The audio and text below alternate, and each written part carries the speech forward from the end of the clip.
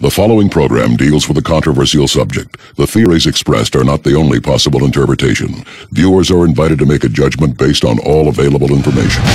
This is your captain speaking. We are beginning our descent into madness.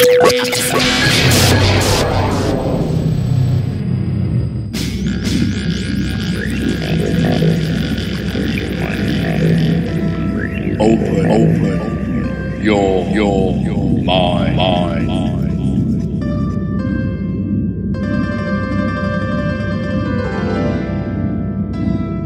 And we're back to another edition of West of the Rockies. I'm Frank. Thank you guys for sticking around. I know it's late, but man, do we have a really, really exciting show lined up for everyone tonight. Genevieve, how are you doing on this Sunday evening? I'm doing very well and definitely looking forward to another great show. Totally. Tonight's episode, and I want to send a quick shout out to my good friend uh, Ron Patton, who uh, helped us set this interview up. Big shout out to Ron and the crew out there of uh, Ground Zero Radio with Clyde Lewis. Uh, great bunch of guys. Uh, if all goes well, we'll be uh, seeing them again this year at uh, Contact in the Desert, which is just right around the corner. Yeah. Tonight's guest, and I'm just reading a little bit here about his bio on his website, which is uh, johnpotash.com. John has been actually interviewed in a lot of great programs, both in uh, TV and radio. He's also the author of this really interesting book, and I, you know, I've seen this book in my timeline through social media. I think a few of um, my friends have read it by now, and the cool thing is that he has released a documentary that accompanies this book, and the title is Drugs as Weapons Against Us The CIA's Murderous Targeting of SDS, Panthers, Hendrix, Lennon, Cobain, Tupac, and Other Activists. This is a topic that I can't wait to get into because I think we're living in very interesting times. And watching this documentary made me realize that uh, the root of a lot of the problems may be this uh, drug war, if you will. So I'm going to bring our guest on the line. John, can you hear us okay? Yeah, sure. Thanks for having me on, Frank and Genevieve.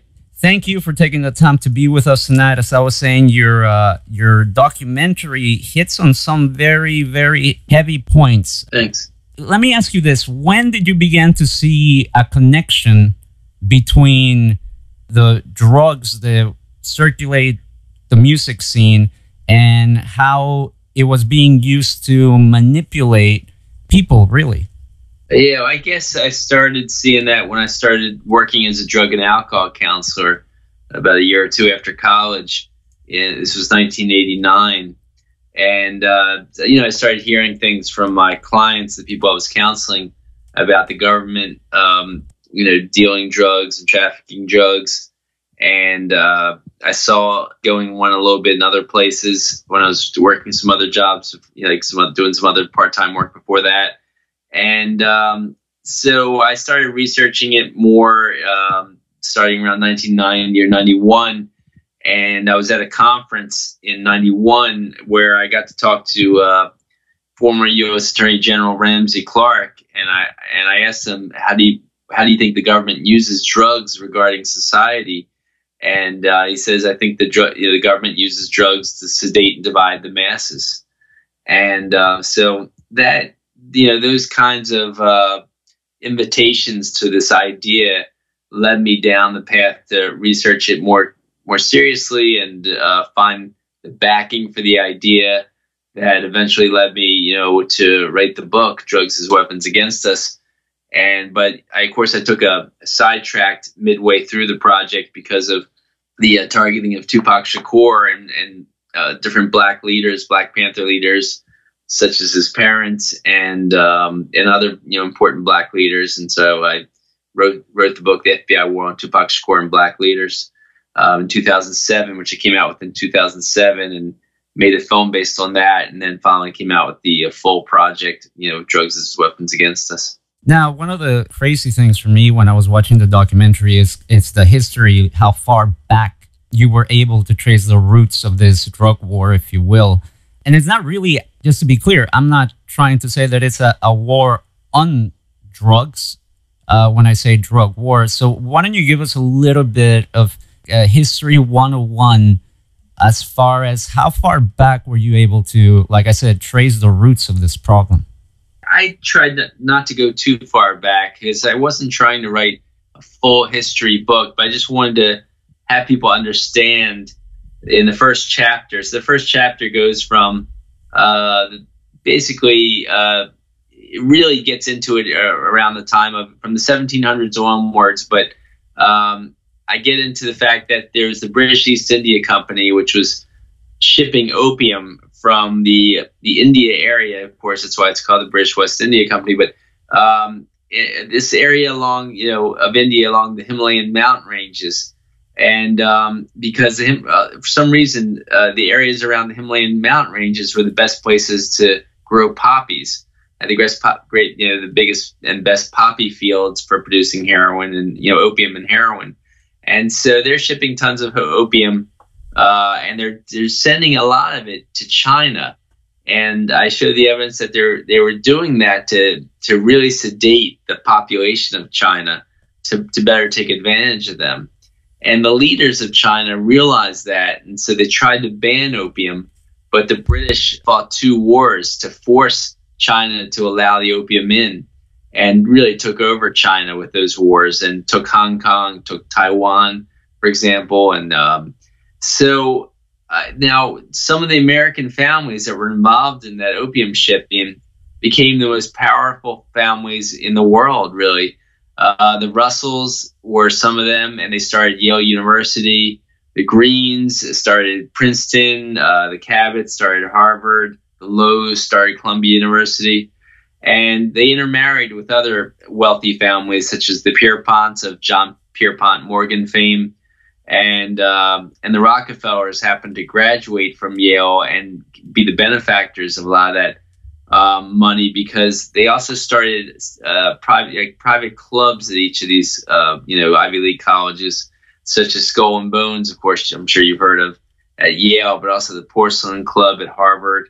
And uh, the people that graduated from uh, Skull and Bones got the equivalent today's equivalent of two hundred thousand dollars upon graduation and so with that, they got obviously a head head start in life. And so the Rockefellers graduated from there, and they teamed up with the John Pierpont with J.P. Morgan family and the Vanderbilts and the Carnegies to form an oligarchy. And the Pier, you know, J.P. Morgan family and the Rockefeller family in particular bought up a lot of newspapers to then control, you know, our information and uh, gain control of a lot of our media, really about 95% of it, um, you know, through different means, you know, these different oligarchical families uh, now really do control about 95% of, of our information. And this comes from, you know, uh, loads of uh, different, you know, experts on this.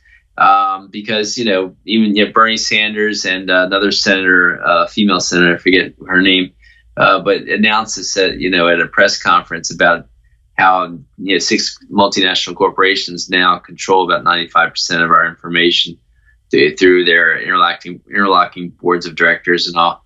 And so um, that that's some of the ways these oligarchs, um, you know, gain control, you know, dominance in our society, and keep pushing the perpetual war.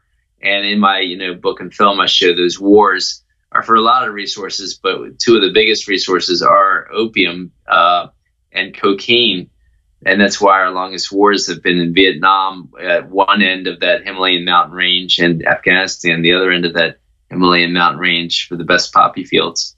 You know, it's funny because you mentioned these prestigious schools, and uh, recently news broke about some um, corruption scandals. Do you see them as being more geared towards and in favor of the more affluent, rich? Of course.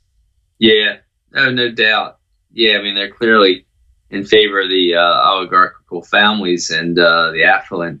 And, you know, their magazines prop them up um, and pretend like, you know, these are the, the, uh, the smartest people in the world and you must listen to them and everything they say is true.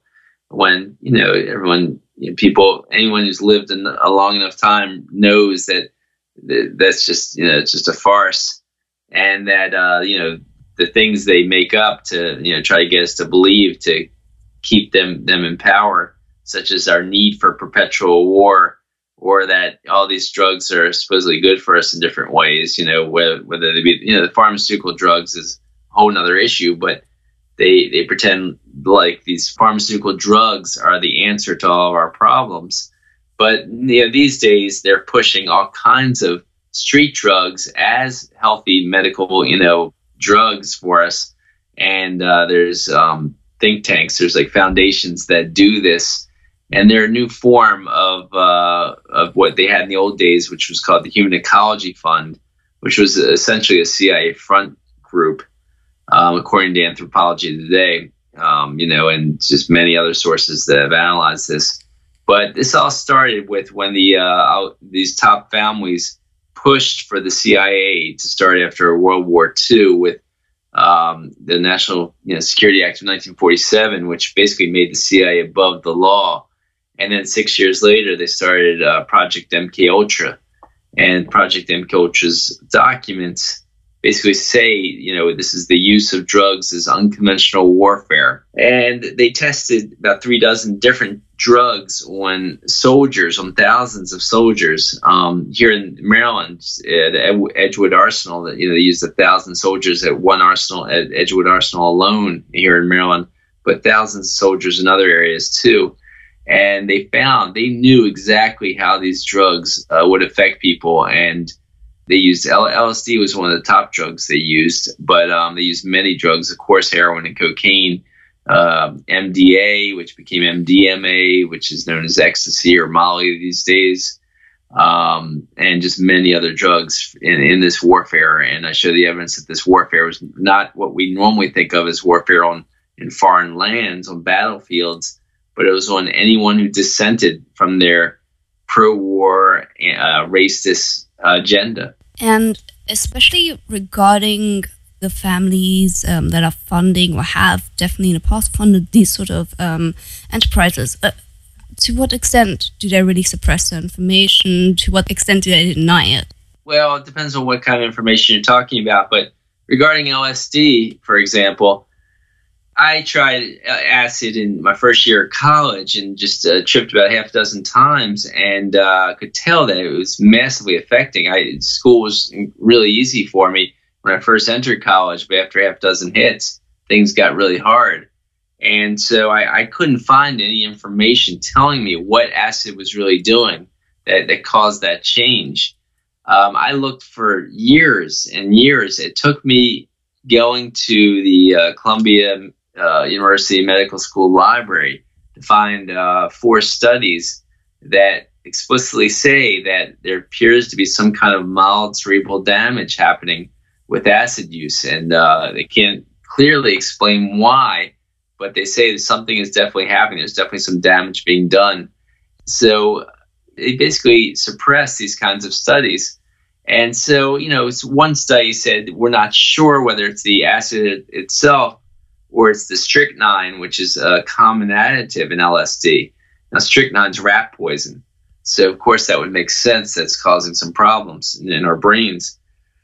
But nonetheless, um, you know, these kinds of studies aren't hidden from us. Um, and you know, I had to look incredibly hard to find these studies. And so when you look at most books or most um, you know, mainstream uh, sources for this kind of information, they hide it. They pretend like that acid's not a problem.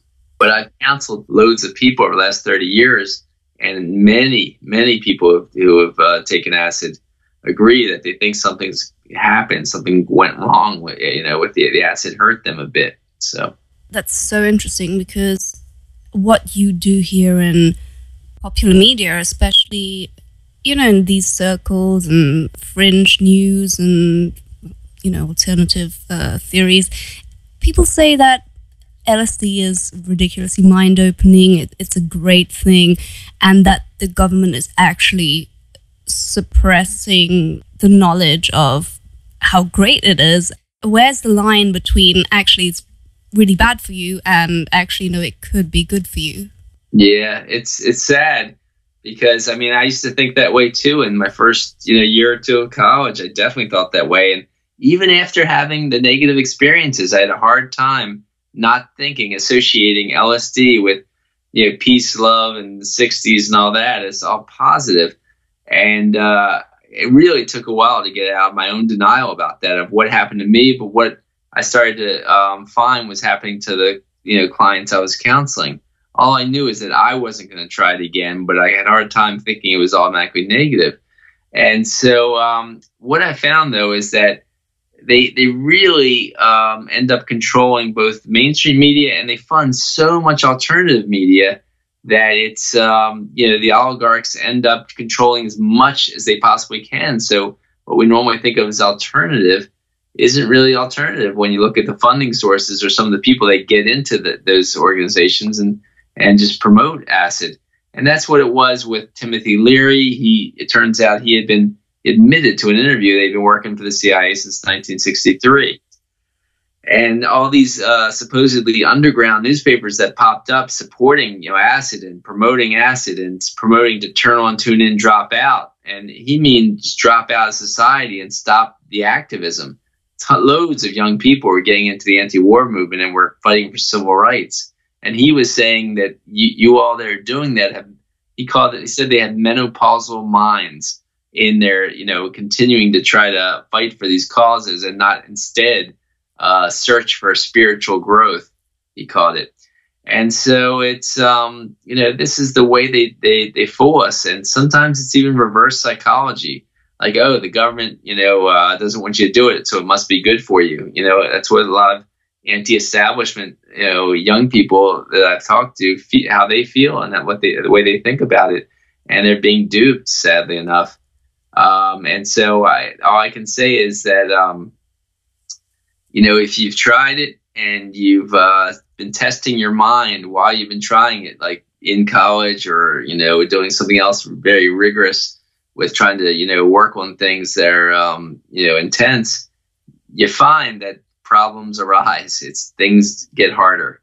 It gets harder to do things as well as you did when, you know, after eating acid, taking acid. So, um, that'd be the hard way. So I don't suggest that way, but um, talk to a lot of a lot of people who have done acid, and who haven't done acid, and you'll start to realize that there's some really clear thinking minds, sharp minds, and there's some minds that are a little foggier that aren't as quite you know what William S. Burroughs says um, aren't as competent. He says he thinks acid makes people less competent, and uh, he's no prude, of course. He had a heroin addiction himself but um, so you know, Martin Lee, who wrote the book Acid Dreams, had also founded a group called Fairness and Accuracy in Reporting, which was very anti-war, very um, you know anti-racism, and uh, he um, he found when he interviewed a lot of these countercultural veterans and leaders, he said a, a, huge number of them, a surprising amount of them, said they totally believed that the CIA was trafficking acid and, and trying to disseminate it into the anti-war movement to hurt their their best uh, you know abilities. And um, you know so and and that's what he found. He basically found and, and some other sources found uh, that the CIA was the biggest trafficker in the world actually. Um, at least you know up until the 19 mid 1970s when um, a guy named Ronald Stark uh, who was part of the Brother, Brotherhood of Eternal Love, was uh, arrested and it, by Italian by Italian police, and uh, another investigator from England, had, had, you know, came was investigating his group, the Brotherhood of Eternal Love, and so Stark had acid laboratories on several continents, and uh, Dick Lee, a high level British investigator, found that Stark, in only three years in Britain, had uh, had uh, basically sold about 100 million hits of acid. So when Stark went to trial, the, the judge uh, in his trial in Italy was murdered. And then the next judge let him go, saying there's he showed numerous proofs to say that he had been working for U.S. intelligence since 1960. So we're going to let him go. And I'm sure it was out of fear, of course. But um, an Italian uh, parliamentary commission said that yes, Stark was a U.S. intelligence agent for at least the last decade and a half. And um, so yes. that's just some of the massive evidence of how the CIA was trying to disseminate it like all over the world, but particularly in the anti-war movement, civil rights movement to hurt our minds. Let me circle back to something you mentioned a little while ago, and that was Project MK Ultra. And I feel that if you had mentioned this five, ten years ago, people will look at you like you're a bit crazy. But now mm-hmm. in pop culture, it has become like a, a, household term due to shows like Stranger Things and similar uh, movies and, and shows. Can you tell us a little bit about the history of Project MK Ultra? It seems like it started back, and correct me if I'm wrong, but it seems like it started back in uh, World War II Germany. Uh, did, right. Can you tell us more about that, please? So, um, you know, Allen Dulles and uh, members of, OSS, you know, the Dulles brothers, for example, were the were the lawyers for the Rockefeller and J.P. Morgan interests, and uh, of course, then you know, Allen Dulles becomes the longest acting CIA director, um, and the other Dulles, John Foster Dulles, becomes uh, Secretary of State. But um, they were uh, paying scientists um, in England and with the, in Germany and you know, Switzerland. Basically, the founder of LSD, Albert Hofmann, was uh, getting money from these OSS interests. You know, this uh, Rockefeller and J.P. Morgan interests. And you know, later when the CIA was founded, yeah, they, he was still getting he was getting money from the CIA. So he basically around World War II, they're trying these psychedelics on um, concentration camp victims. So these, you know, German scientists are trying all these different psychedelics. They're just doing all kinds of experiments on on these concentration camp victims. And so they then, you know, with uh, after World War II, they saved thousands and thousands of these scientists um, with Project uh, Paperclip, and then with another um, another operation called Sunshine, they sent uh, estimates range between 9,000 and 50,000, but they sent thousands of, you know, these uh, Nazi agents down to South America and um, in other parts of the world actually too. But so they had a lot of these uh, Nazi scientists in the CIA working on these psychedelic research with uh, projects called Bluebird and with other name uh, Artichoke and then they kind of combined them all under Project MK Ultra. And these Nazi scientists basically just used took their psychedelic research and put it into research here, you know, with MK Ultra in the United States. And MK Ultra had 149 sub projects, and so there's many different projects they were working on, but some of them were the ones I'm talking about with LSD and heroin and cocaine, et cetera, against the anti-war movement and civil rights movement it really blows my mind how how this whole thing developed here in the US. When did the drugs arrive at these schools? Because it seems like that was kind of like fertile ground, if you will, for the tests that they were carrying out. Were they tests or were they already on a mission to, like you said earlier, divide and keep people in a haze and control them in that way? Well, they started them out as you know studies, supposed studies, but yeah, the evidence uh, suggests that they really were just trying to spread their use. But they first paid um, the equivalent today's equivalent of 150 dollars to to these students at about 45 different schools that this Human Ecology Fund, this uh, CIA front group, what you know, out, really based out of Cornell Medical School. Um, they ran the Human Ecology Fund, but all the money was coming from the CIA. Um, that money would then go into grants to these 45 different colleges to professors that would, would hold these studies testing different psychedelics on uh, students that would you know accept $150 to try the psychedelics. And these grants also went to about 40 to 50 hospitals around the country and uh, about 50 uh, prisons around the country. You know, the most famous user of these grants was that Timothy Leary at Harvard, but a number of you know professors were doing this. And in Stanford, uh, over in Stanford University, they were doing it at the Stanford Hospital, where uh, another famous uh, LSD user named Ken Kesey was a uh, writing student, writing graduate student at Stanford, and um, he so he he took the money. He was poor, and he took the money to try the, the psychedelic. He actually was uh, an alternate, supposedly an alternate Olympic wrestling team, and had barely even gotten drunk before doing this experiment. Now, on the East Coast with Leary, he ends up uh, getting kicked out of Harvard after a few years, uh, two or three years of, of these experiments. And um, in, in, to help him out comes the Mellon Hitchcock family. uh, William and Peggy Mellon Hitchcock. And the Mellon Hitchcock family owned Gulf Oil. They owned the Mellon Bank. They uh, were they had several members of in the U.S. intelligence, and they proceed to fund uh, probably about a dozen different uh, sites for this Timothy Leary's new um, International Federation for Internal Freedom. He called it ridiculous name, but for psychedelic, you know, promotion. And so uh, Billy Mellon Hitchcock gives his uh, vast mansion on his 3,000 acre estate an hour uh, north of New York City to you know Leary to hold constant parties. He, he rents it to him for about $400 a month, which is peanuts for this gigantic place. But um, so Leary holds constant parties there. The media focuses on him, and MK Ultra scientists set up base at this mansion. And as they lure um, civil rights, you know, uh, activists and artists and writers and musicians up from New York City, you know, a bunch of liberal folk who can promote this stuff. You know, when they say, "Oh, we had this wild time at this party with this great new drug," uh, they go up there and all kinds of different um, psychedelics are tried on these these artists and writers and activists.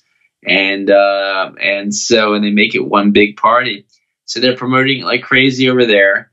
And then on the west coast i show the evidence that the same thing was going on over there with ken kesey and his parties so he gets a job after you know getting tested at the stanford hospital. They, they give him a job as a janitor there give him the keys to the LSD supply and let him steal constant, you know, you know, large amounts of LSD to have constant parties over there. And at his parties, uh, so a lot of military folks started coming to his parties, and uh, you know, and they talk about in my film some of these people that were in the military before that, and they convince him to to uh, paint a, a bus in psychedelic colors in about 64, 65 and to take that bus on an interesting route. They were only supposed to be going to New York for something, but instead they go all through the civil rights South with this bus promoting LSD to where there was these other buses carrying these freedom riders who were going there to support Martin King and and voting rights for blacks and different other you know rights for blacks. And they end up in, in uh, going to a, a, New York event, but they first go through Harlem, where the uh, biggest race riots, or you know, activists call them race rebellions, had occurred in 1964 or five when it happened when they went through there, and they they come back to um, the San Francisco Bay Area and start the acid test, which is you know bigger and bigger parties with the Grateful Dead the house band, and uh, they ha- they end up having trash cans full of L- of Kool Aid spiked with LSD, and some people knew you know knew it was spiked, and some people didn't. But they proceeded to hold the acid tests all around San Francisco, where there was the Berkeley free speech movement happening at that time, like the, the biggest activist movement on, on a campus at that time. Um, and a lot of those activists were also supporting civil rights, the civil rights South, coming, you know, supporting the freedom summer rides. But um, so then they take the parties also down to Los Angeles uh, right after the Watts race riots, and they, um, you know, and they get them all tripping, you know, when when these this acid from the Kool Aid which was heavily dosed and was, you know, really hurting people's minds. Now we know, you know, the best evidence that this was all MK Ultra was the fact that uh, there was a legal deposition done by the, the, top MK Ultra psychologist, a guy named John Gittinger, and he admitted in his legal deposition that him and two other MK Ultra scientists were at uh, a number of these acid test parties. So, and you know, and they even said there was two others MK Ultra agents at, at one or two of these parties. So what were they doing there? Obviously, this was all MK Ultra, you know, experiments, pretending to be grassroots parties, pretending to be a grassroots phenomenon, but inadvert, you know, but promoting LSD to the uh, to activist youth and people of color. A lot of these um, agendas and I guess stories you hear about in past tense. Really, it wasn't that long ago. So, how many of these projects, experiments, I guess, are contemporaneous. How much do you think is still going on right now? MK Ultra officially uh, was closed down by John F. Kennedy, but the uh, assistant so and he also fired the, the, the, director of the CIA. But the assistant director kept kept running the experiments behind his back, and so they just changed the name to MK Search.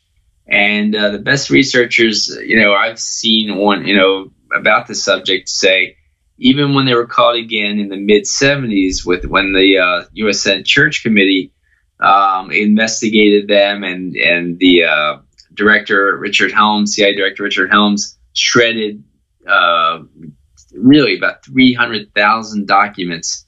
They, is estimated were shredded but uh, 30,000 uh, weren't found that were duplicates in the financial department. And that's what, what we still we have as evidence for, for these experiments.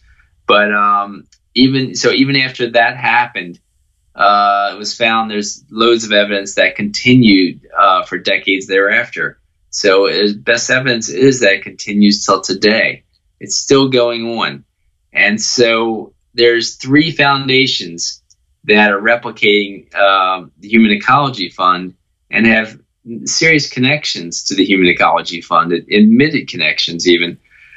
But um, one of them is called the MAPS, or the Multidisciplinary Association of Psychedelic Studies, and others called the Heffter Institute, and a final one's called the Beckley Foundation. That's a British one.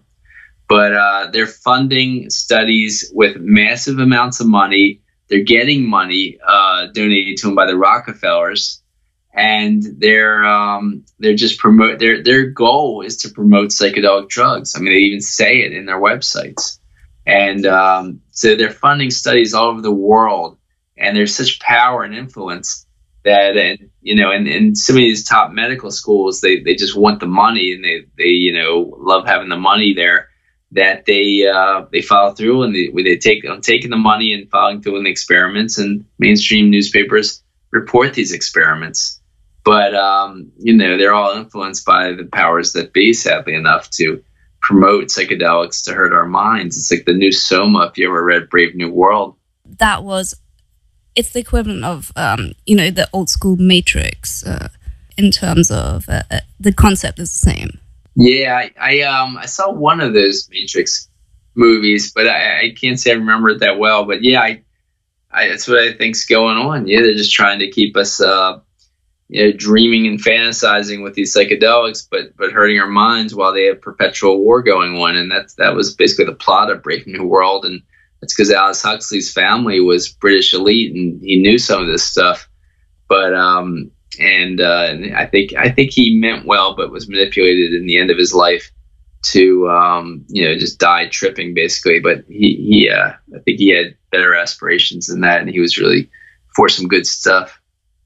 Yeah, no, absolutely. It really makes you question whether, you know, living um, a superficially happy life is is better than living the true life and knowing what's really going on. Yeah, rather all my, all my senses working at, at their natural best and uh, really, you know, trying to, you know, have fun in natural ways while at the same time fighting uh, for peace and not perpetual war, you know. Yeah, and you know, on that note, I, I was wondering, do, do you see, um, at least, you know, personally, the correlation between what's been going on in terms of um, the drug war over the last, say, 100, 150 years and the rise in, you know, depression and other mental illnesses? Yeah, I, I think there probably is because, I mean, the other, um, you know, they also just try to, um, push the fact that depression is normal and anxiety. I mean, that that people, it's you know that people get these clinical depressions and people get into clinical anxiety. And really, I think it's a, it's a lot more trauma based than they're they're willing to let on. But um, yeah, no, I do think that drugs uh, often are traumatizing our brains. And as much as I, I had a drug problem when I was in high school and I, I weaned off in college, thank thankfully. But um, I do think it, it, does, you know, these, yeah, a lot of this drug taking can traumatize our brain in small ways. And it, you know, it takes sobering up for a while to really get us in, in the best condition. And ecstasy uh, is known. I mean, scientific studies show that does things to our serotonin levels that really does can cause you know more long-term depression. But I think none of these drugs can cause problems in that regard. And you know, alcohol is a depressant, of course. And so, yeah, I think I think there could be uh, some correlation between the you know the massive drug use and some you know me- mental health issues. Sure. Yeah. Now, uh, before I go back into the the 60s and what was happening in the US, I want to ask, uh, you know, and I apologize, I'm not. Um, uh, hopefully, I'm not taking you too far away from the main topic. It's just something that occurred to me as, as we were sitting here uh, talking. One of the things that I remember reading about, as far as like the project MK Ultra during you know the 60s and the 70s, some people believe that it also has to do with the rise of abduction experiences uh, in that time. And I I know I've read a couple of accounts at least of people that believe that their alien encounter was sent aliens after all, but it was some type of military project where they were uh, drugged basically and were subject to these experiences to see how they reacted. The, in your research, I know you don't cover it in, in the documentary, but in your research, did you come across any type of information that would point to that type of operation going on? I did. I did come across a little bit of that, but I'm sorry to say that I don't remember it well enough to comment on it, except to say that, like, the way you described it is the way I, I read it too. Um, but I just don't know enough about it to, to elaborate on it. I'm sorry to say. All good. Now, as we were talking about what was happening here at home in the 1960s, my next question is obviously the rock and roll world had its biggest contributions by artists in in the UK. When did the CIA and I if it's okay to use the CIA as kind of like the umbrella term here, um, yeah. when did the CIA began their experiments, if you will, in the UK? Because it seems like a lot of musicians, prominent musicians, musicians that changed the course of music history, if you will, seem to have dabbled in this drug. Yeah, I, I talk about how in 1965, Robert Lashbrook, the uh, assistant uh, deputy director, basically of um, MK Ultra, went over to. It was the beginning of '65. He goes over to London with loads of LSD and agents and money, and he instructs his agents to put um, acid in as many musicians' hands as possible. And few months later, John Lennon and George Harrison are having uh, dinner with George Harrison's dentist, and they're with their their their wives or girlfriends at the time, and um, and so George Harrison's dentist uh, proceeds to dose Harrison and, and Lennon, you know, through their coffee. And you know, John Lennon was furious, and George Harrison said, "LSD, I never heard of before."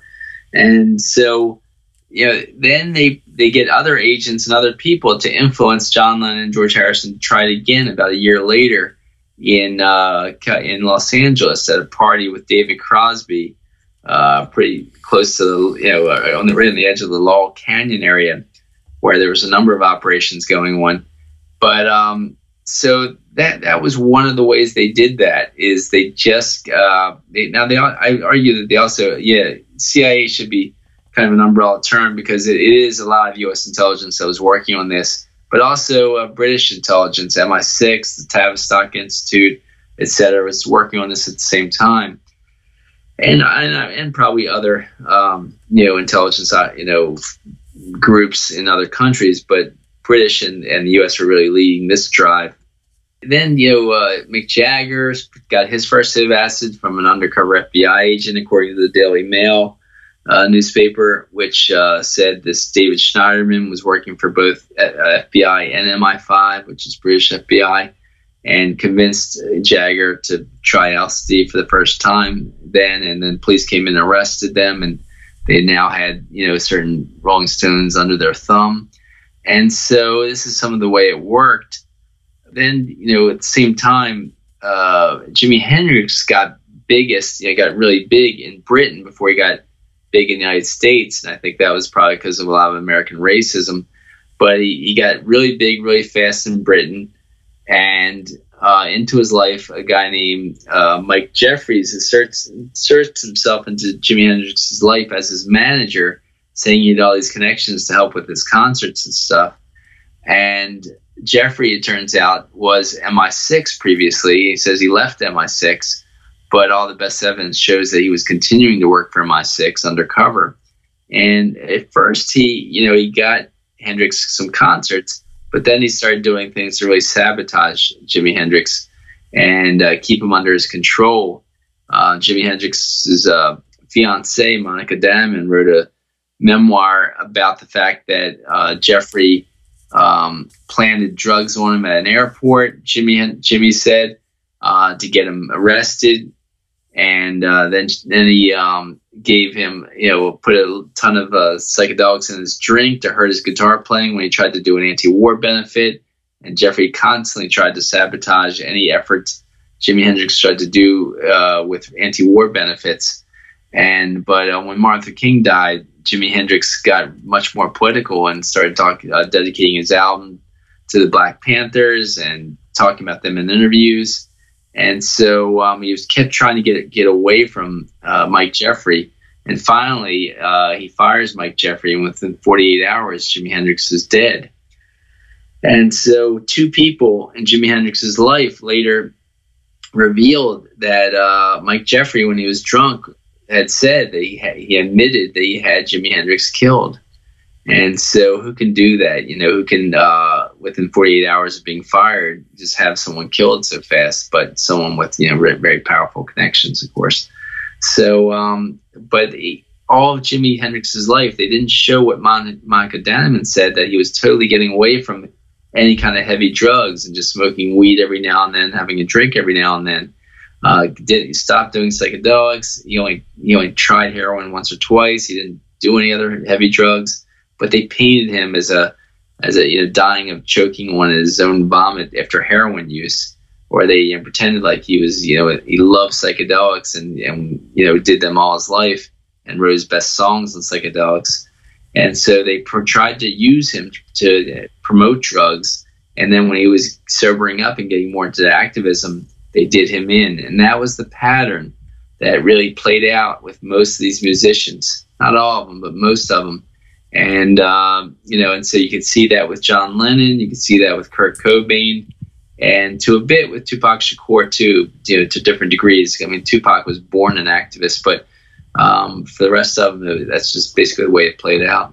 That's the thing that I, I found really interesting about Hendrix and his story and all of this is how he he was used, and it seems like yeah, the moment he tried to get away, he was uh, discarded, if I may use the term. Now, yeah. uh, one of the things that, at least geographically, one of the places that became like the epicenter for the this hippie movement that came about in the 60s and it was really well documented in in the amazing book by Dave McGowan, uh, mm-hmm. "Strange Tales Inside the Canyon."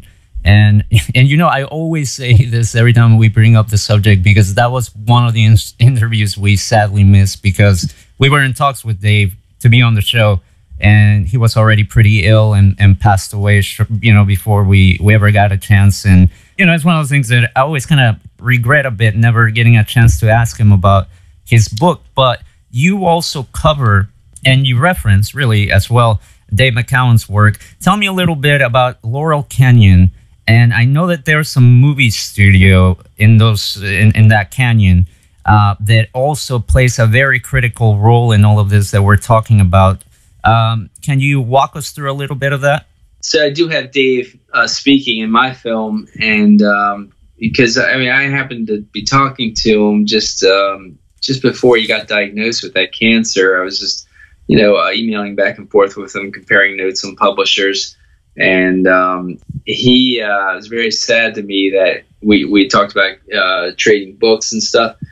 And so it was very sad to me when he got so ill so quickly, and um, but so I think I think his weird scenes inside the canyon. Yeah, was a very you know fascinating book, and I think he did great great research with that book. And uh, but I think even his book before that, Program to Kill, is even better writing than than uh, you know Weird Scenes Inside the Canyon.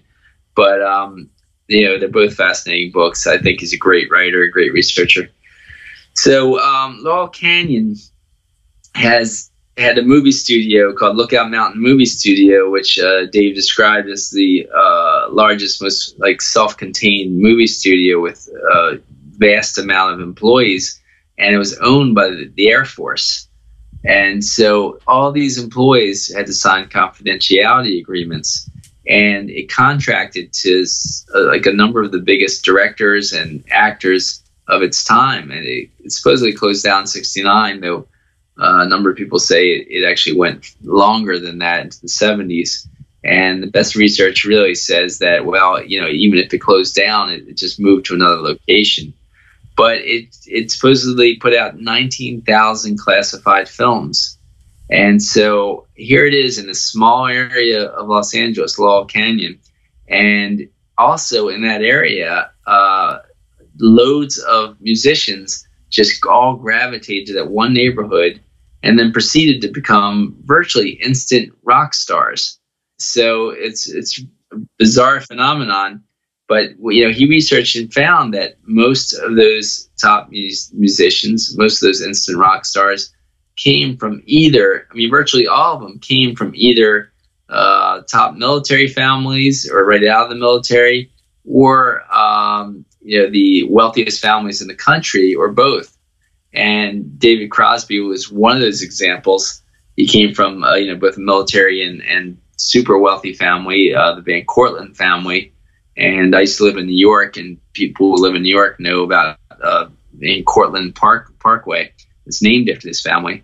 So people like Crosby, uh, Frank Zappa's family was out of Edgewood. You know, he grew up in Edgewood Arsenal. His father was a chemical warfare scientist, and uh, Jim Morrison's father um, was head of the Gulf, the kind of uh, ship that caused the Gulf of Tonkin incident that started the Vietnam War. And so just a number of these musicians all had these connections.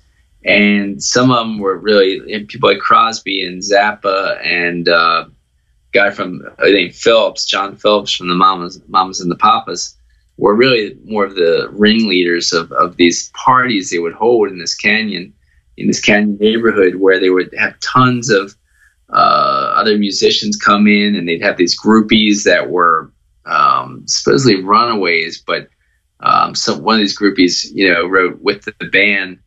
She was like a teenage uh, runaway who was involved in these sex and drug parties, constant sex and drug parties in the early to, to mid fifties, up you know until the late sixties. I mean, I'm sorry, early to mid sixties, and, and even you know up until till the um, early seventies, I would say but uh, it would introduce loads of people that would come to these parties to to new all kinds of new drugs and uh, you know associating and they'd have these you know sex orgies and all that. And as much as it could have been just hedonistic fun you know the fact that they all became these instant rock stars is just uh, suggests that there was more to it that they were just trying to, to turn a lot of people onto drugs through these parties. And um, you know and, and I, I, argue that's what you know the way they got john lennon and george harrison to trip again and Ringo started Trip for the first time.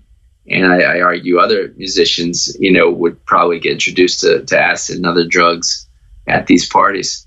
Going back, you know, to, I guess, not really mainstream um, theories, but definitely at least the standard fringe ones we hear about.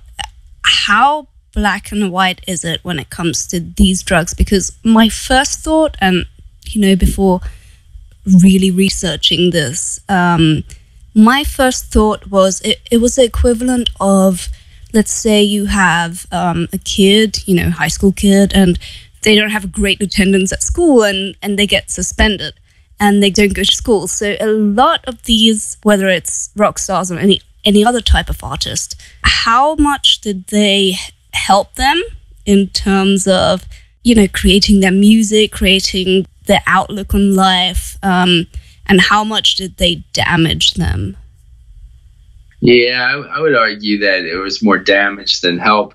I mean, I think a lot of these musicians, uh, you know, were really creative artists in the first place. Now, when I say the musicians that I'm talking about are the ones I talk about in my in my um, book and film, which are um, you know Kurt Cobain, John Lennon, Jimi Hendrix, Tupac Shakur, the Rolling Stones, uh, people like that. You know, Elvis, actually, Eminem, people like that. I think they were all very intelligent, very creative people, and I think they would have. And you know, Janis Joplin, they just were very gifted gifted uh, artists who would have uh, been, you know, were already uh, doing great music or could have done great music without the drugs. And I don't, I, you know, I argue that the drugs didn't help them and actually hurt them. Now, you could say in, in a few instances, if someone, you know, uh, wrote a great song while on her- heroin, glorifying heroin, okay, maybe that one song was made better when they were uh, high, you know, high on heroin. Uh, but you know, of course, the heroin really ruined their lives. You know, they had to go chasing it every day, or they throw up, and that's that's what a heroin addiction's about. You know, and so it's really uh, for any kind of short-term benefit. It was like, like a lot of long-term harm was done to these people with the drugs. Yeah, and, and the real targets of them really were the activists. The Students for Democratic Society were seriously hurt by these drugs. The Black Panthers were hurt by these drugs because um, they targeted Black Panther leaders such as Huey Newton and Afeni Shakur. And uh, they got them, they got undercover agents to show the evidence. They got undercover agents very close to them and got them, you, you got Huey Newton using cocaine. And he, you know, got Bobby Seale, his co founder of the National Black Panther Party, saying that, you know, why are you using this? You know, why he told Huey, why are you using this cocaine? but it was undercover agents that influenced him to use it and and developed a problem with it and he ended up uh, really tearing apart the party because of uh, that influence of all these undercover agents and and the cocaine I know we have to go to break in a minute, but I, Okay. I can. I mean, this is not even a theory. Most people think that it, it's really reflected in what's still happening nowadays. And there are so many substances, so many drugs being pushed on people. And I'm not just talking about illegal substances. You know, there's plenty of legal ones that really are not viewed as that great. And yet they're advertised all over television and on the radio. I totally agree. Yeah, I mean, there's so many. MK Ultra spawned so many different drugs, and yes, legal and illegal drugs. And uh, yeah, I think there, they there's problems with a number of them. I mean, I think there's some good medications. Don't get me wrong. I'm in the mental health field, and I think some mental health medications help people. But there's also some some bad ones, and there's some ones that are causing problems with people. And and of course, there's loads of illegal street drugs. And I argue that uh, they that most of them, virtually all of them, uh, came out of Project MK Ultra. Sadly enough, and but some of them, you know, some of the medications, of course, were, were good. You know, they're someone's uh, suicidally depressed. It's great that there's a good antidepressant that helps them. But um, there's so many benzodiazepines and other drugs like that that are, that are causing problems with people, and and um, so yeah, there's there's definitely some problematic uh, pharmaceuticals and street drugs, of course. John, if you'd be so kind to just hang on the line while we take our top of the hour break, we're just going to play a couple of songs and run some station IDs, and then I really want to get back into yeah some of the uh, the uh, effects that this had on the uh, social movements of the 60s and 70s, because as we'll soon see, the effects we're still feeling them to this day. So is it all right if uh, if you Sure. just hang on the line and then we'll get right back into it? Sure, I'm just gonna get some water, and uh, I'll be back back with you in a few minutes. Awesome. Thank you so much, John. And thank you to everybody that's tuning in right now on the TuneIn app. Uh, Live Me, we had a little uh, technical snafu there, but I think that the uh, Live Me feed has been restored. So big shout out to everybody that's tuning in through that. And if you're catching this as a podcasted version of the show, hello to you, uh, good sir and or madam. We hope you're doing well. We're going to take a quick break right now. We're going to go out. Actually, this song was a request by Genevieve. Genevieve, do you want to tell me why did you uh, choose this next track? Because it's a great song and a great remix thereof. That that's all there is to That's it. That's about all you need. so this is the Fugees with Ready or Not, the champion bootleg remix. This is West of the Rockies, WOTRradio.com on the Independent FM. Genevieve's here. I'm here. Our guest, John Potash, is here. And we're going to be right back. Enjoy this one, guys. Here we go.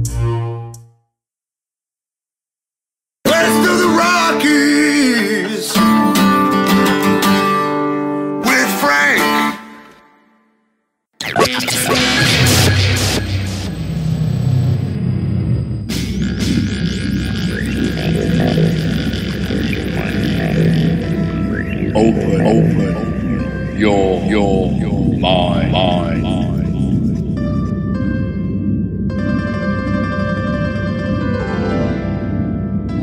And we're back to the second hour west of the Rockies. I'm Frank. Thank you guys for singing around. I know it's uh, it's late, but man, do we have a really cool show here going on right now. A little bit of back announcing. You just heard some GNR, some Guns N' Roses, one of my favorite songs, Garden of Eden, off of there. 1991 double album, Use Your Illusions. Considering the topic we're covering tonight, just the title of that album, um, yeah, is making me think. Uh, before that, we had the Fugees with Ready or Not, with a really, I'll be honest, I had never heard that version of Ready or Not. That was the Champion Bootleg remix, and uh, it, that was pretty fun. Oh no, I'm I've been really uh, in the last few years getting into remixes of things, and you know, back in the day, it, it was a B side. It was like, oh, you know, version 200 of this song, and now they've, got some pretty cool remixes that they'll turn any song into something you didn't expect. Yeah, totally. And uh, really quick, I just want to let everybody know that, uh, as always, I'm Engineer Frank on Twitter, West of the Rockies on Facebook. Don't forget to follow the show on Twitter at WOTR Radio. Also, subscribe to our YouTube channel, youtube.com forward slash WOTR Radio, and the website, if you want to take a guess what it is. Yep, that's it. WOTR Radio, and you just add dot .com at the end of that. Oh That's- no, repeat that. I, I didn't quite get that. WOTRradio.com. Uh, as always, I'm joined by Genevieve. Uh, catch her here every Thursday night, 7 to 9 p.m. Pacific time, hosting her very own show, No Added Flavors, music, fun facts, jokes, and a whole lot more. Our guest tonight is Mr. John Potash. And I want to bring him back on the line because, uh, John, where can people find your documentary and your book and learn more about you? Yeah, so the uh, the film "Drugs as Weapons Against Us: The CIA War on Musicians and Activists" is now streaming on Amazon Prime and Vudu and Vimeo and iTunes and uh, places like that. Um, you could also buy it at places like Barnes and Noble and Amazon and Best Buy and Target and Walmart. But uh, I, you know, I don't think many many of them have it in stock. I mean, I know there's one Barnes and Noble near me that had it on the shelves but most of them just have it. You have to buy it online from them. Uh, but so yeah, that's where you can see the film and the book. The book you can uh, if it's on the shelves at Barnes Noble, they'll they'll um, you can order it and they'll get on the shelves in two or three days. And of course, it's sold on Amazon and other places too. Very cool. And let me ask you this: Have you uh, have you been approached by uh, anybody in the music industry or uh, you know people that might be privy to this stuff that uh, have corroborated or maybe even disagreed with some of the information you put in your book? Uh, well, I, I Mopreme Shakur, Tupac's stepbrother, uh, agreed with my work a lot, and uh, so he contributed to the the film. You know, and so you know, I've talked to other people that um, you know basically agreed. I, I can't say I've had too many people talk to me and disagree from any you know that were that knew any of these musicians. Uh, most of the people that that I've you know had any kind of um, you know um, communication with tend tended to agree with it. And uh, just to kind of uh, bring us back to the conversation, let me ask you this: It's fair to say, considering everything we discussed in the first hour, that the hippie movement was basically engineered by the CIA. Again, using the term CIA as an umbrella term here, but am I correct in that assessment? It appears so. I mean, you know, you can't say for sure, but it does appear that way. Yes, both through the Laurel Canyon scene, the San Francisco scene, and uh, some scenes in St. Mark's. I mean, some of these uh, people like Herman Kahn of the, the, I think he was of the Rand Institute, but of these social, you know, these conservative think tanks, even boasted about how they created these wastelands in these different urban areas you know, between San Francisco's Haight Ashbury area and St. Mark's, you know, place in that area, and you know, Alphabet City area of uh, New York City, Lower East Side.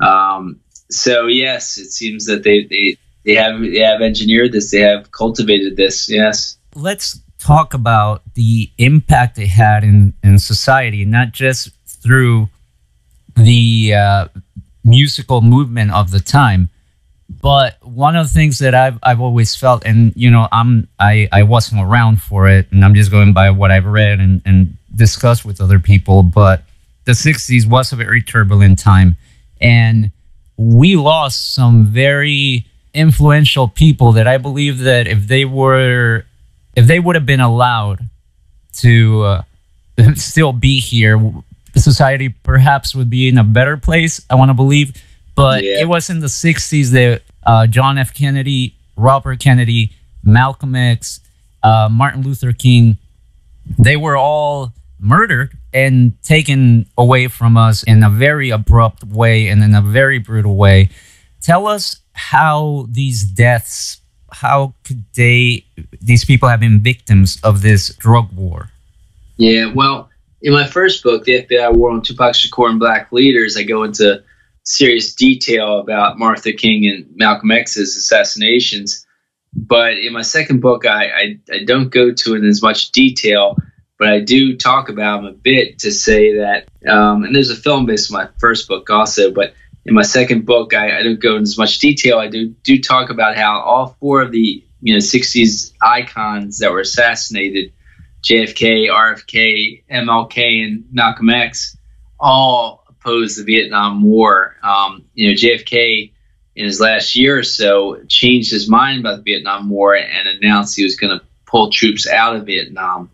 And uh, the Vietnam War, as I said before, was the location. It was the Golden Triangle for poppy fields, one of the two best places in the world for for poppy fields that you know produce her- opium and heroin. So I, I show that that was one major reason that they assassinated JFK and RFK and Malcolm X and Martin King. Um, now, Martin King was assassinated exactly one year after he announced, officially announced, um, that he was, uh, you know, opposing the Vietnam War.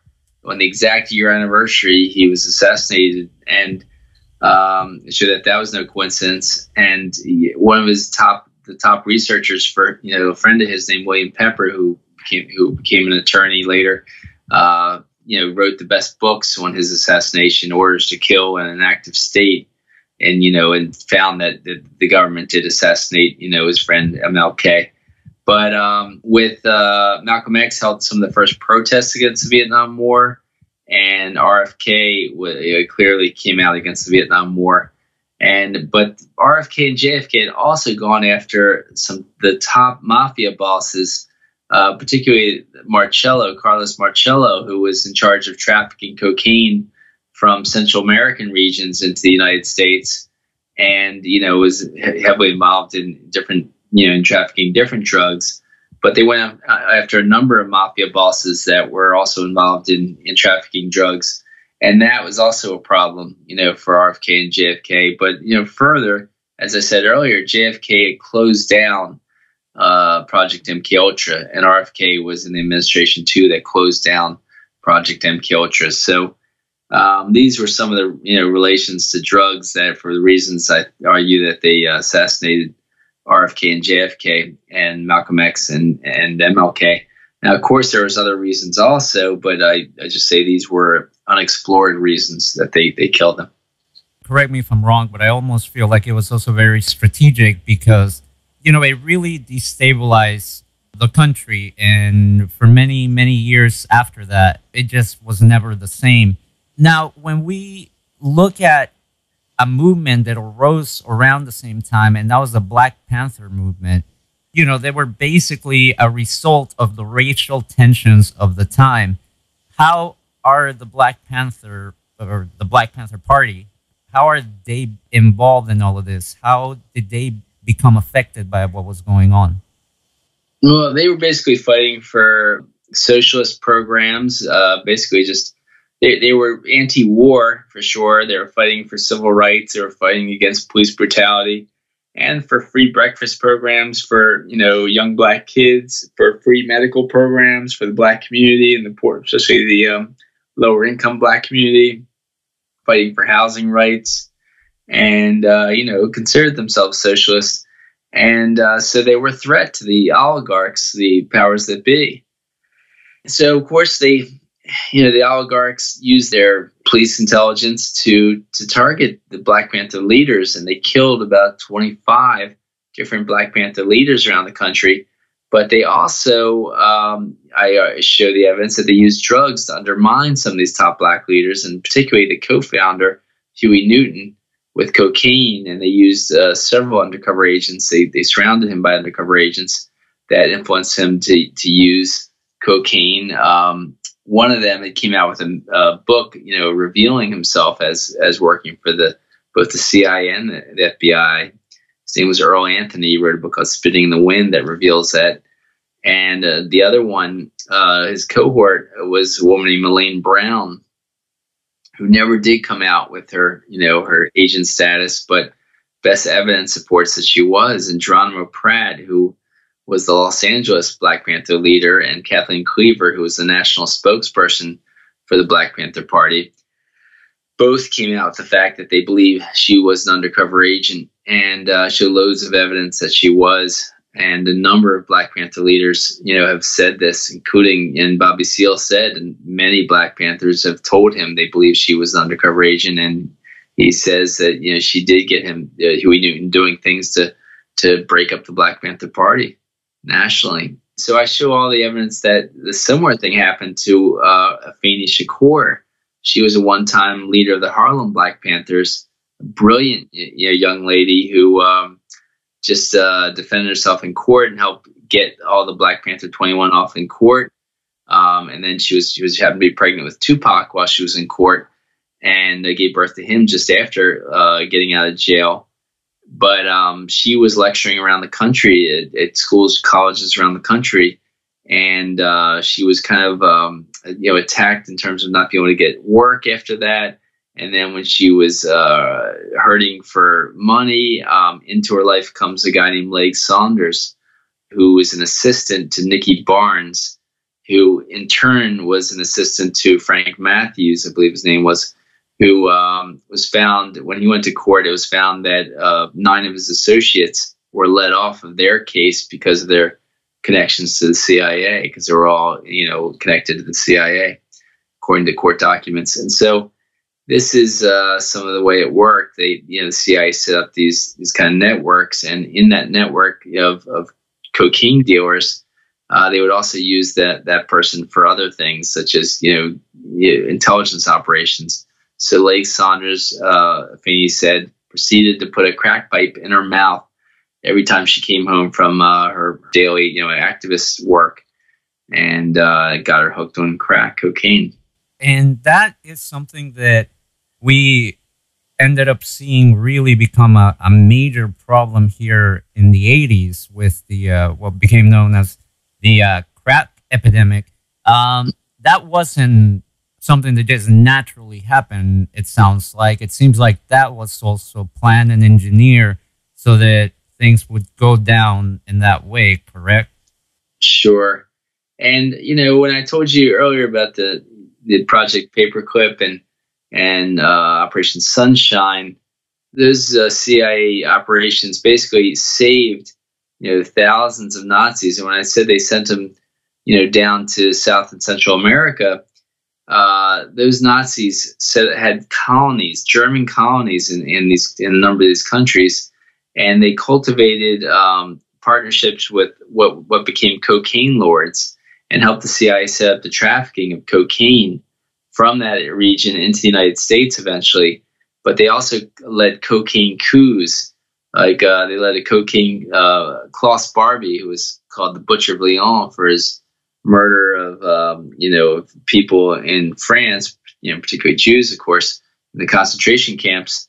Um, he had, had his own colony. He was uh, coupled with this cocaine lord and and was like led this coup in Bolivia in 1980. They called it a cocaine coup, and there was a photograph of actually a Nazi flag uh, in the you know on a mountaintop in the Andes, and um, and this happened in a few different countries with the you know Nazis behind a lot of this stuff. So um, an operate uh, project called Condor uh, was an official assistance operation and connection operation of all of the of about nine different uh, Latin American countries with U.S. intelligence help, uh, supporting coups in these different countries. So the most, one of the most famous ones being the coup of Salvador Allende, socialist doctor who won the presidency of, um, of Chile. And when they toppled him and put in the U.S. supported dictator Augusto Pinochet, they proceeded to murder, you know, tens of thousands of, of leftists. And they did the same thing in, in all the other Project Condor countries, you know, or sorry, it's called Operation Condor countries. And they even went and chased down leftists in, in the United States that came into the United States and other in European countries and, and killed them, you know, even in Washington, D.C., setting up a car bomb so that's what was going on down there. But they were aiding the uh, cocaine trafficking routes from that area into the United States, and it became more famous when it, it was started going on around the uh, Nicaraguan you know coup that happened with the Sandinistas toppling this U.S. supported dictatorship there of the Somoza family. And uh, then the U.S. supporting a group called the Contras to try then overthrow the Sandinistas. And the Contras were you know, Gary Webb, the famous journalist around that case, called them basically a uh, CIA army trying to topple the Sandinistas. And um, he found that they were trafficking cocaine into the United States and uh, then doing it through a guy named Freeway Ricky Ross and uh, getting cocaine and crack and you know, cheaply into communities, particularly black communities around the country. And so it turns out that Freeway Ricky Ross had two assistants. And one of those two assistants was a guy named Michael Harry-O Harris. And it just so happened that he started a record label called Death Row Records. And um, it turns out um, that that record label had dozens of police officers at all levels. And according to um, white police officer named Russell Poole, who, who investigated them, and when he when Russell Poole asked his superiors what, what are all his fellow police officers doing there, his superiors said you can call them troubleshooters or covert agents. So, uh, sadly enough, Death Row Records appeared to be a, actually a U.S. intelligence front company, and they lured great artists like Dr. Dre to, to work for them. But then, when Dr. Dre was uh, so messed up about what was going on in there, he left them with nothing even though he was a creative force behind them. Uh, Snoop Dogg, same thing. He he just he saw what was going on in there, and he tried to leave. And he was really chased out and was scared for his life.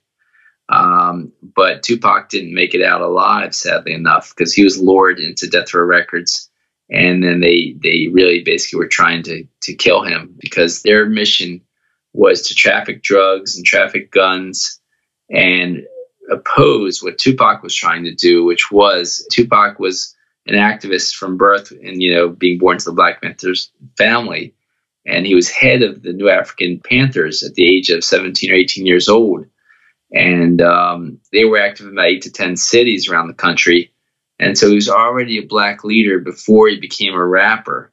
So with the FBI's counterintelligence program that targeted MLK and Malcolm X and the Black Panthers um, they were it, it, actually continued according to uh, COINTELPRO whistleblowers, and um, I showed them, of course, my film and have them speak in my film. Wes Swearingen talks in my film. He was a COINTELPRO agent, as as do CIA whistleblowers such as John Stockwell and Phil Agee and people like that, that that reveal a lot of this information. I'm telling you now, but um, with Tupac, he then took on a new plan, which was to pretend to be a gangster in order to appeal to gangs and politicize them and as part of his uh, Black Panther extended family's plan to get uh, truces between the Bloods and Crips and uh, to turn them on to activism and to get them to stop drug dealing.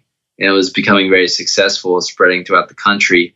So he was threatening billions of dollars of the CIA drug traffickers, as well as billions of dollars of the uh, money launderers of the banks and the multinational corporations that were money laundering. And so uh, the CIA really wanted to get rid of him for that reason. It's really crazy because I was definitely around for that time period. And I do remember all of a sudden this rise in what became known as the East Coast West Coast beef. And it's funny because watching your documentary, that kind of made sense because, as, as you said earlier in the show, one of the things that they wanted to do was to divide, and basically the divide and conquer technique. And it seems that's Yeah. exactly what was happening here. You had Tupac, who was trying to broker these uh, treaties and truces among the, these two big gangs. And uh, here comes the CIA and uh, basically sabotages this whole operation, correct? Yeah, and they, you know, they, of course, they killed Tupac. They pretended like uh, so Suge Knight and others spread the word that it was the Crips that killed Tupac, and they uh, gave ton loads of guns to the to the Bloods to kill Crips, and a gang war st- after the peace truce, the gang war started again. But um, after Tupac died, he was you know in the hospital for about seven days or so. But after he died, enough activists spread the word that they didn't think that the Crips killed Tupac, that the war that got reignited stopped. And that's what Death Row was trying to do. Actually, inside Death Row Records studios, was he hired Crips and Bloods and tried to get them fighting between each other. It was, it was unbelievable. You know, to points that there was actually shootings and murders at Death Row concerts between Bloods and Crips. it, it really blows my mind. Really quick before I move on, in the case of the notorious B.I.G., Christopher Wallace, was he an unfortunate casualty of this? Yeah, Mhm. yeah, he was he was kind of collateral damage to to uh, throw the scent off of uh, Death Row's police officers killing Tupac. They killed Biggie to make it look like it was part of the East Coast West Coast rap war that really killed them both. But the best evidence is, is that these police officers actually, you know, police intelligence killed them both, but killed Biggie to hide the uh, you know evidence that they really you know they killed Tupac, who was the real target. And the thing is that the fact that nobody has been arrested in connection to these murders and found guilty beyond a reasonable doubt uh, lets you know that whoever planned this, whoever carried this out, definitely knew what they were doing and they knew how to go about it without having it come back to them. And the question then is who has that type of power, right? Right. And there's three, you know, movie companies, movie studios tried to make film a film about Russell Poole and all he did with his investigation. You first Sylvester Stallone was going to play uh, Russell Poole, and then that movie movie uh, announced, you know, they announced the movie it was supposed to happen, and it got squashed. And then uh, Leonardo DiCaprio was supposed to play Russell Poole, and DreamWorks had it all laid out, and it was all going, you know, into it was all happening, and it was going to come out, and then it got squashed by the LAPD, and then finally um, Johnny Depp, just within the past year or two, was supposed to play Russell Poole, and I even saw the movie was done. I saw the preview in my movie theater in Baltimore, and uh, within just a few weeks before it was supposed to come out, you know, they canned it; they weren't allowed to, to get released. So that's the power of these people, you know, the of U.S. intelligence to be able to do this. That's really mind blowing. Let's talk about another contemporary of Tupac, Kurt Cobain. And he was extremely influential for a, an entire generation. And for the longest time, I went with the explanation that he was a troubled individual and he mm-hmm. took his own life. However, in the subsequent years, uh, uh, a man by the name of Tom Grant came out with some very incredible allegations of what he believes happened. How much credibility do you lend to Tom Grant and his research, and how does Kurt Cobain fit into all of this? Yeah, well, I think Grant did good investigative work. He was originally hired by Courtney Love, actually, to to supposedly find uh, Kurt Cobain a few days before he died, and uh, he ends up realizing, you know, after uh, some investigation that that Courtney Love actually knew where Kurt Cobain was. She, he was calling her regularly because he wanted to, you know, know how their daughter Frances was, and one didn't want to lose touch with Courtney because of that. But he, you know, he he basically taped uh, most of the people he talked to, including um, Kurt Cobain's lawyer and Courtney Love's lawyer and uh, Rosemary Carroll, and had people like her and other people saying on tape that they believe that Kurt was not suicidal and he didn't kill himself, and the uh, supposed suicide letter was actually his, his handwriting copied onto that letter, and that those that handwriting kind of practice of you know trying to copy Cobain's writing was found in Courtney Love's backpack that she left at Rosemary Carroll's house. And uh, Kurt Cobain was divorcing Courtney Love at that time and was asked Carroll to take her out of his will. And Courtney Love had asked Carroll to find her the most vicious divorce lawyer you know possible, and so that's what was going on at that time.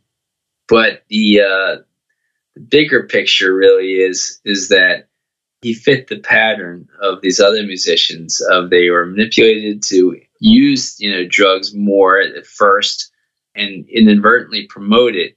Um, and then when they started sobering up and getting more into activism they were done away with.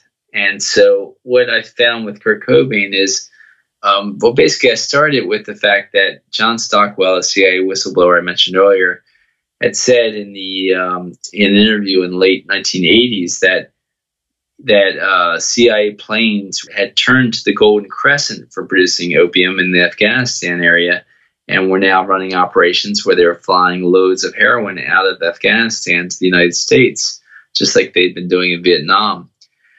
And he says that um, you know, so there was loads more of heroin than ever before coming into the United States. So they had all the supply coming in, and they had to make demand match supply. And how they do that, they resort to what they had done in the '60s in trying to get these musicians to promote it inadvertently. So I argue that they psychologically profiled the musicians that were rising up in the United States, and they found that Kurt Cobain would be the best musician to target because he had a massive stomach problem in his own journals, he had, he had you know, disclosed uh, trying heroin about a half dozen times in four years just to try to quell his, his really painful uh, stomach issue. So in 1991, Nevermind is meteorically rising up the charts, the music billboard charts, and into his life comes, you know, Courtney Love introduces herself at a party that she's at with Billy Corgan. She leaves Billy Corgan, latches on to Cobain, they start dating. She gets pregnant immediately. And uh, everyone close to them said that that was the first time Kurt Cobain started using heroin daily was with Courtney Love, and that she used it to manipulate him. You know, he'd never done heroin regularly before that.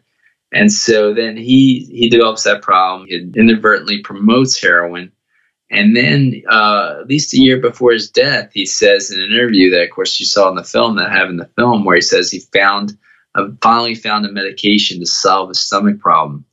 And uh, I argue that he had, he had started getting sober by that time. Um, but a month before his death, we know he was sober because they did a blood test on him when he was in Rome and he went into that coma. And the only thing they found in his blood, they found no illicit drugs whatsoever in his system except for Courtney Love's sleeping pills, which she had gotten prescribed in London, where it's legal to prescribe Rohypnol, which is also known as roofies. And of course, roofies is that blackout drug where you don't remember anything that happened. And uh, so he almost died then. It could be argued that that was an attempt on his life right there. Um, with the roofies she she most likely put into his drink but it showed that he wasn't a heroin addict at that point and a month before his death. But then when he dies, you find a massive amount of heroin in his system.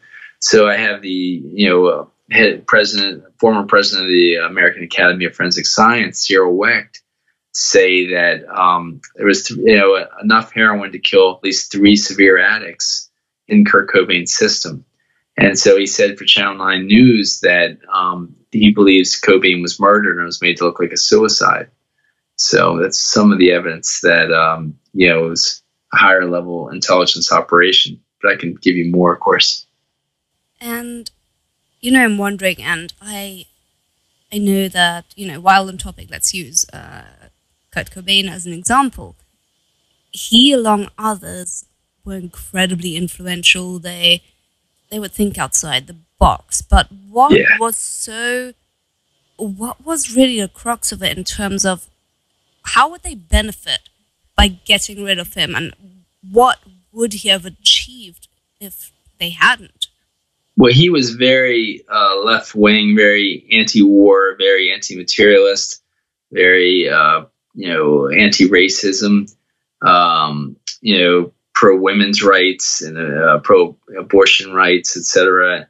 And so, you know, I argue that like the band, the rest of the band, when he died, the rest of the members of the band played a benefit for the battle, you know, against Seattle kind of march, the uh, anti-globalist, um, anti. Um, I don't know if you remember the march on Seattle where um, it was arguing against the um, kind of exported jobs. It was arguing against things like NAFTA and the uh, trade agreements that were exporting jobs to other countries and where companies were moving to other countries and stuff. But um, he would have played at those kinds of things with the band and would have attracted huge amounts of people at you know to events like that. Um, he you know in his uh, he said that he was thinking about putting on the cover of his album Nevermind all sorts of anarchist essays that you know describe how to build your own bomb and things like that we thought he'd better wait till he's more popular, you know, and then people would take it more seriously. So this came out in a biography of him, uh, actually a year before he died, that he was planned to do that. So that was a that was a worry to the powers that be. Since at that time when that biography came out, he was already, you know, arguably the most popular guy in the world, an influential guy in the world. So um, that's some of the wor- worries about him, you know, as a uh, political figure. Yeah and I know we're we're almost out of time, so I'm gonna try to get through my last two questions here as fast as I can, so you have uh, ample time to answer them. But I'm one of those people that uh, after a while I feel like coincidences don't really happen a whole lot. As many people know, there's this thing called the 27 Club, right? And yeah. everyone from like Brian Jones, Jimi Hendrix, Janis Joplin, Jim Morrison, they all passed away at the tender age, really, of 27. And Kurt Cobain. Are these all coincidences? I mean, a lot of people have tried to find some kind of significance in the number 27. Are we reaching by uh, even going down that path? What is your take on all this? Because these are all figures that pop up uh, throughout your uh, documentary. Yeah, well, I I um I don't address that, but I, I do. You know, a lot of people have asked me this question, like yourself. And um, I do show evidence that the, the, U.S. intelligence did use anniversary timing tactics. Like I said, they did with MLK earlier, you know, the exact year anniversary of him announcing he's against the Vietnam War. And they did it a number, uh, a few times in Tupac's life. They did it with uh, some other uh, high-level police, you know, uh, political targets of U.S. intelligence.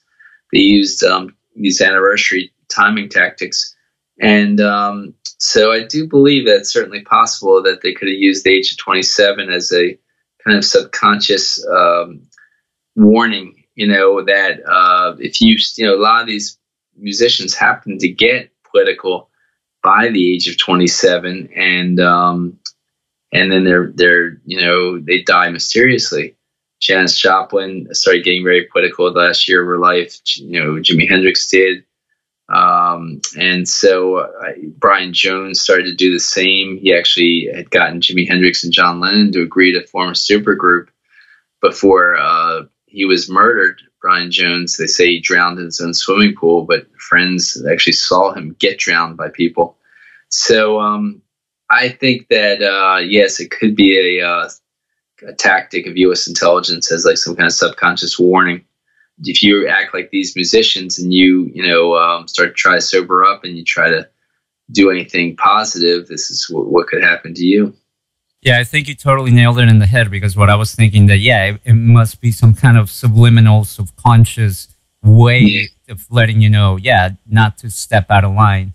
Well, I was wondering, in terms of contemporary stars, who do you think, if not most people, who do you think um, has been a major target recently, and I know you, you know, there's a lot of talks about the stars that came out of the Disney Club. I think that's what it was called, Mickey Mouse Club. Yeah, the Mickey Mouse. Yeah, yeah and uh, I mean, you have Ariana Grande nowadays. Before that, we had Britney Spears.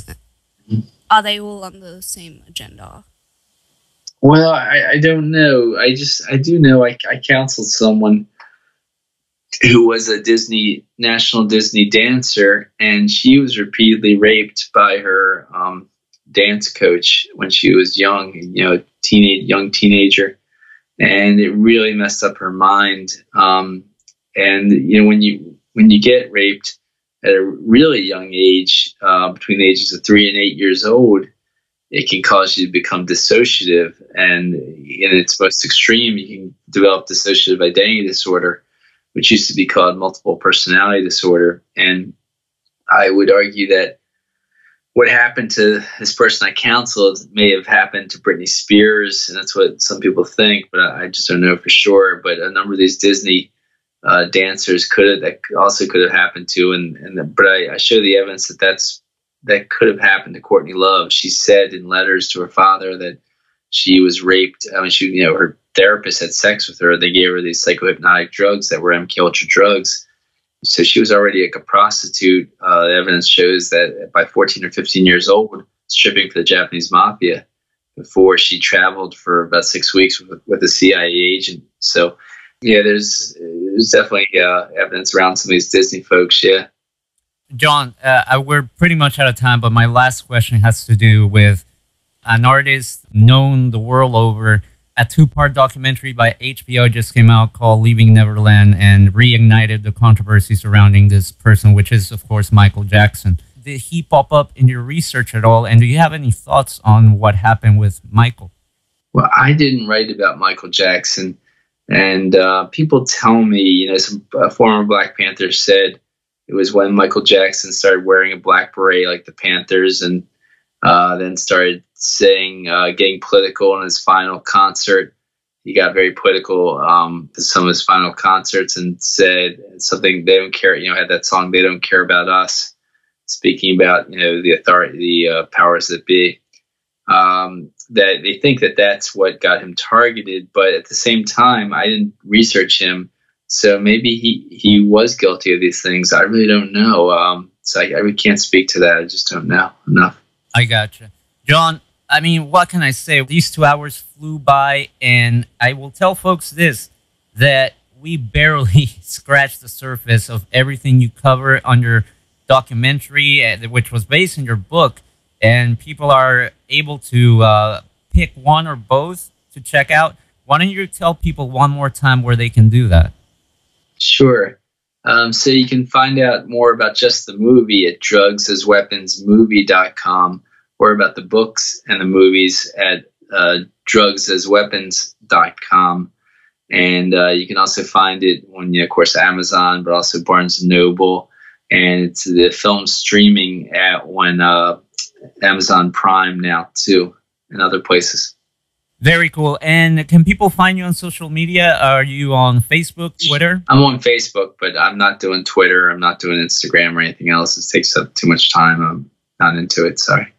I don't blame you. Blame me. Thank you so much, John, for being with us tonight. Like I said, it's uh, it was such a treat to talk to you and talk about this stuff because for me, and I know for a lot of people as well, it really puts things in into context and it, a lot of things that didn't make sense before make sense when you see it through this lens. So I think that the work that you've done, the research is extremely thorough. All the information is very well backed up.